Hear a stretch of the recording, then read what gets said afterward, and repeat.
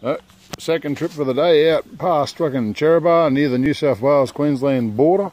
Didn't go over it, so didn't bring back any Corona. Uh, maybe a carton of it. But this is the latest little pickup. Uh, little shitbox. Uh, still got some good parts, but uh, it'll be going to Thailand. Come back as a fridge. Uh, got imported Toyota surf wheels apparently. Uh, trusty old trailer's got a wobbly tyre, but it's still on there. Uh, not a bad little rig. Good farm truck. Starts, runs, all that shit. Won't when I'm finished with the bastard. It'll be all kinds of fucked up. Uh, thanks, guys.